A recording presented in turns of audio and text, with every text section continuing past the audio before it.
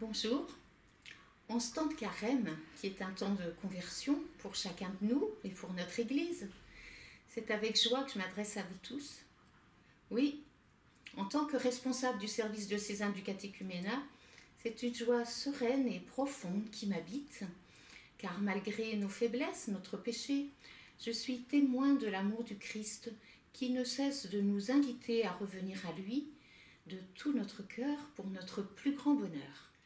L'appel du Christ à la conversion ne cesse de retentir dans le cœur des hommes et des femmes de ce temps, à tout moment et à tout âge. Certains d'entre eux, des adultes, ont entendu cet appel et se sont mis en quête d'un Dieu qui donne sens à leur vie, et ont demandé à l'Église de pouvoir recevoir le baptême.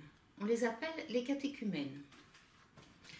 Accompagnés par des chrétiens, laïcs, prêtres, diacres, parrains, marraines, ces catéchumènes ont longuement cheminé à la rencontre d'une personne, la personne de Jésus, qui a répondu à leur soif de vie, qui les a guéris de leurs blessures et qui les a sauvés. Ils se sont familiarisés avec les communautés chrétiennes où ils ont été accueillis.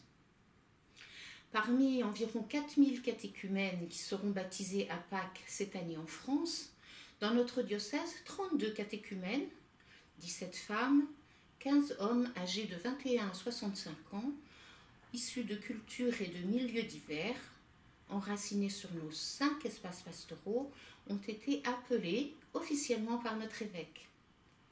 Appelés à quoi? À recevoir les trois sacrements de l'initiation chrétienne que sont le baptême, l'Eucharistie et la confirmation.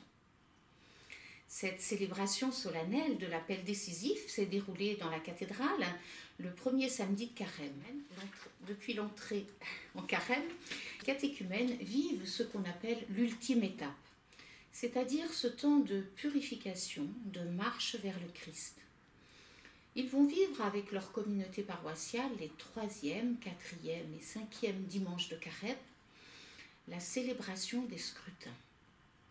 Les chrétiens vont alors prier pour eux afin que le Seigneur les fortifie et fortifie ce qu'il y a de bon, de bien, et qu'il guérisse ce qui est blessé, faible ou malade.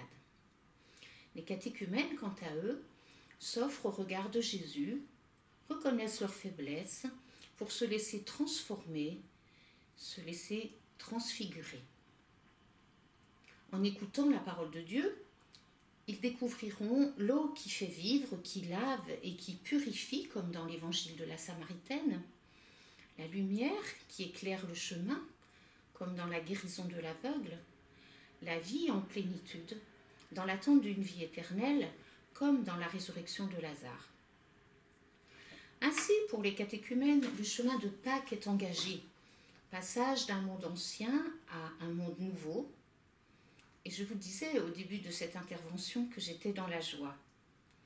Eh bien, aussi parce que, en accompagnant ces catéchumènes qui recevront le baptême et l'Eucharistie au cours des fêtes de Pâques dans leur paroisse et la confirmation à la veille de Pentecôte à la cathédrale, leur présence, leur cheminement sont pour nous, chrétiens, l'occasion de nous unir à eux dans ce chemin de conversion qui n'est jamais fini.